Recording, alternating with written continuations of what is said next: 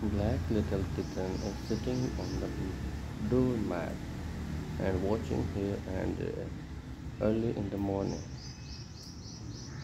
She is waiting for her other fellows, especially grey little kitten and the mother cat, the grey mother cat.